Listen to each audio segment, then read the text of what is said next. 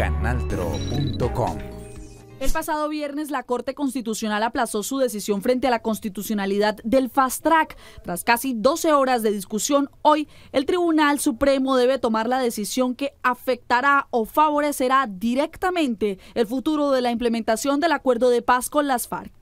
Entre más nos demoremos en aprobar los acuerdos en las reformas, más riesgoso se vuelve que muchos miembros de la guerrilla se reciclen en otros grupos armados ilegales como bandas criminales, el ELN, grupos narcotraficantes. Entonces tenemos que rápidamente hacer la ejecución y desarrollo de las reformas para que el proceso de paz sea un éxito. Para el presidente de la República, el plebiscito fue un desacierto. Eso, pues bien, yo sí aprendí mi lección. Uno no debe someter nada que no necesite ser sometido a un referendo. Para el gobierno urge la reglamentación de la Jurisdicción Especial de Paz, entre otras 10 iniciativas tempranas de implementación que podrían tomar hasta dos años en ser tramitadas bajo la vía normal.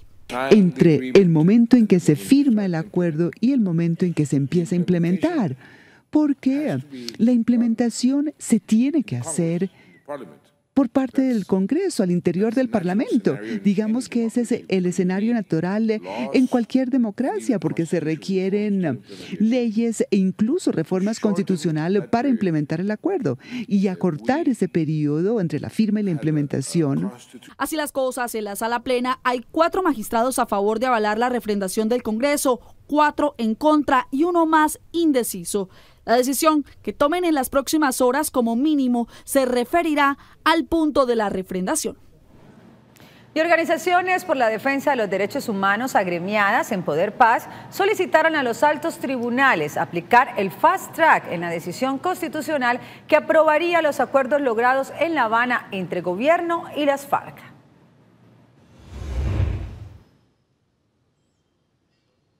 Hola, ¿qué tal? Muy buenas tardes. Efectivamente, hoy se reunieron varias organizaciones que promueven la defensa de los derechos humanos, especialmente en la zona de Catatumbo, también que representan al campesinado de ese sector del norte de Santander, para exigirle a la Corte Constitucional su obligación con el país y de aprobar el famoso Fast Track. Estamos solicitando expresamente a la Comisión de Implementación de los Acuerdos de La Habana, es una comisión eh, conformada por tres miembros de las FARC y tres miembros del gobierno, una reunión eh, formal con los movimientos sociales del departamento para revisar y poner en marcha los impactos positivos de la implementación de los acuerdos de La Habana en nuestro departamento.